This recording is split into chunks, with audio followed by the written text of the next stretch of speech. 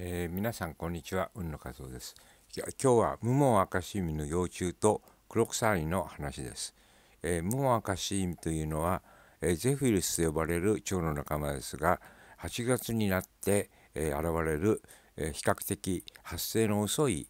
え蝶ですね、えこれがムモンアカシミの幼虫です。ムモンアカシミの幼虫にはいつもですねこのクロクサリというアリが群がっています。黒腐りというのは大体もう若しい意味が卵を産む木のですね根元に巣を作っていることが多いんですね。でこの幼虫をずっと追いかけてですねいつも、えー、黒腐りが周りにいるという状態です。でもこの幼虫ねいろいろ観察してみたんですがあのアリが好む液体っていうのは出さないんですね。でも匂いを出しているらしくて、えー、この黒腐アリはですねこのモアカシイミの幼虫から離れることはこうありません。えー、それでですね、まあ、あの外敵にからですねこの幼虫